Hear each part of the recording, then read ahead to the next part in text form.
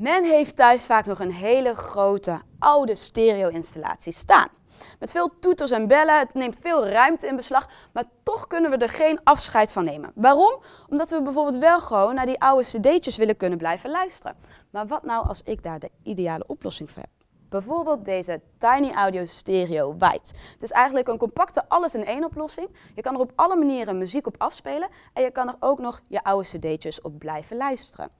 Uh, aan de voorkant zie je twee stereo speakers en aan de onderkant zit een subwoofer. En die zorgt eigenlijk voor een heerlijke bas die de hele woonkamer uh, vult. Uh, aan de voorkant zie je een kleurenscherm waar je easy met deze afstandsbediening je keuze kan maken. Ik kom aan in een menu die heel makkelijk te bedienen is. De internetradio, waardoor je over heel de wereld radio kunt luisteren. Spotify Connect, nou dat spreekt denk ik voor zich. De muziekspeler om bijvoorbeeld gedownloade muziek van je laptop af te kunnen spelen. De DAB+, de digitale opvolger van de klassieke FM-radio. En die komt dat dan ook als volgt. Bluetooth audio om muziek af te spelen via Bluetooth. Een cd-speler en de AUX in om andere apparaten te connecten met de stereo. Er zijn er ook nog eens drie bedieningsmogelijkheden. De eerste is via de afstandsbediening. Easy met alle knopjes. Ja, spreekt voor zich denk ik. Op de stereo zelf zit ook nog een wekker uh, ingebouwd, dus dat is ook wel cool.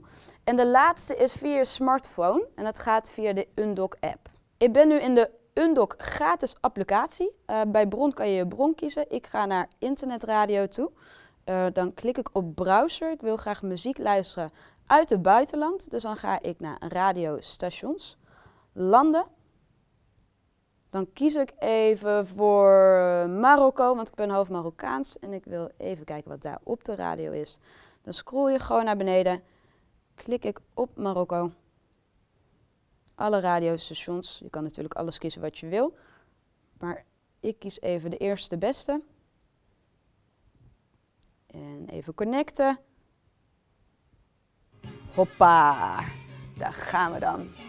Hoe krijg je de Tiny Audio Stereo White nou aan de praat? Dat gaat super makkelijk. Ik heb hier de stekker, die stop je in het stopcontact. Uh, en dan verbind je hem met het wifi of uh, bedraad met het internet. En tada, klaar is Kees.